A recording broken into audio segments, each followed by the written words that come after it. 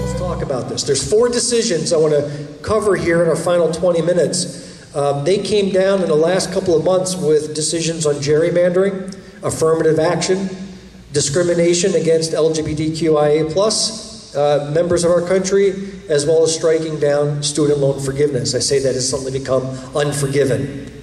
So let's talk about these and, and get some details. And by the way, this recording and this slide deck, we'll put this all up on our website, so you'll see that out in, in an email. Feel free to take notes, but you'll have access to these slides on our website later this week.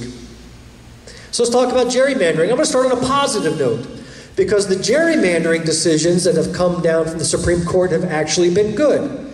The state level is where it's gone bonkers. So the states have been trying to produce the worst congressional maps you can find, completely diluting the black vote wherever possible. Alabama tried it. Uh, they had diluted the black power, the power of black voters by drawing just one majority black district when there were enough voters for two. So Alabama split, what they call cracked, the black vote, separated them out so that they would not have a majority voice. It went to the Supreme Court, and the Supreme Court surprisingly and correctly struck that down, and now Alabama has to go back and redraw it. Yeah, that's good. That is actually good. That is, again, the, the Congress is Republican led by now, by, uh, at the moment, but only by a dozen seats. It's not a lot of seats. And in some of them, like George Santos's seat, they're gone. You know, bye. That's going to become Democrat. Lauren Boebert, her seat's going to be gone. Bye. That's going to become Democrat. Then you have another congressional Democrat likely in Alabama. Louisiana had the same thing. The map has white majorities in five of six districts, all currently held by Republicans, despite the black people accounting for one third of the state population. One out of six congressional seats, one out of three population. That does not seem right, and therefore they may have to redraw it based upon a decision also by the Supreme Court. But the big one came from North Carolina, but even this was a mixed bag. So North Carolina's Supreme Court, state Supreme Court, had ruled six to three that the congressional maps that their legislators drew were gerrymandered. The North Carolina Republican lawmakers didn't like that.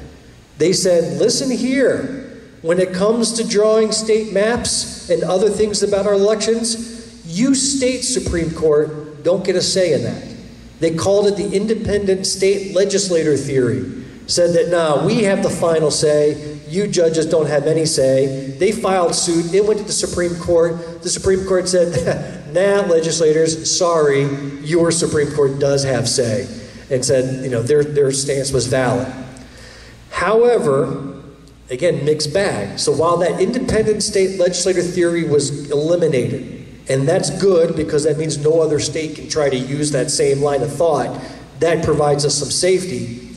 There's been some turnover in the state Supreme Court of North Carolina. It became uh, heavily Republican based. They actually brought suit again, and this time they overruled themselves in, in just about a year and reversed course, and now their congressional districts are allowed to stay anyway. So again, a, a loss and a win there, uh, but still our uh, federal Supreme Court came out with a really good decision.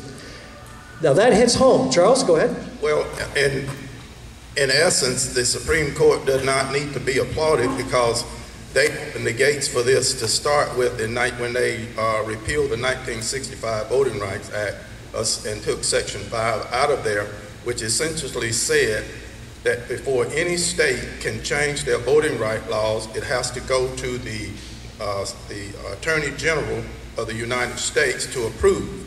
I think Nikki Haley and several other states sued, and then um, Section 5, which was the heart of the bill, which John Lewis marched on the Edmund Pettus Bridge for, that whole 1965 Voter Rights Act has been uh, uh, watered down along with uh, what you were talking about, the uh, student deal, the um, affirmative action, and a lot of the other things that are happening, is just to roll back the laws that allow people to get to where they are now. But, but even what you're reading there and what you're seeing there, uh, the Supreme Court was to blame, you know, for that whole gate falling and all of that stuff coming out. That's right.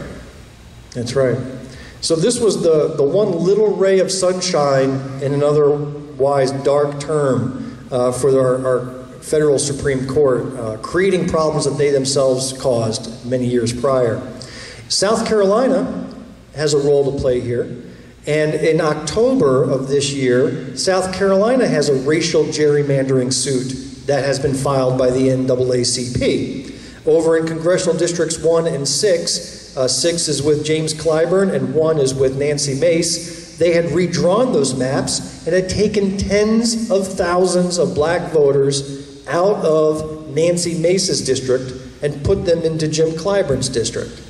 Now, Jim Clyburn already had solid voting in his district, and the District 1, remember that's where Joe Cunningham also was, it was considered a flippable district until they took 30, 40,000 black votes out of that district, and now it's solidly red. And the state, uh, a three judge panel said, wait a minute, that was probably one of the most obvious cases of racial gerrymandering we have ever seen and allowed uh, the, that suit to be, to be heard and ruled in favor, saying, nope, you have to go back and redraw those districts.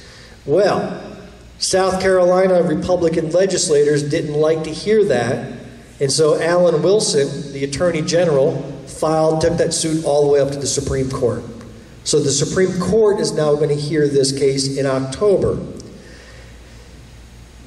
I would like to be hopeful based upon the three other decisions they've come regarding gerrymandering in other states North Carolina, Louisiana, and Alabama, but you just never know. You never know. So this has been taken on the docket um, to be heard in October. The Supreme Court could have just refused to hear it, and then that other decision would have to stay, and we'd have to redraw the districts. But no, in October it's going to be heard, and those districts may need to get redrawn. We will wait and see. And you'll definitely uh, stay in tune with us. You'll hear about the updates.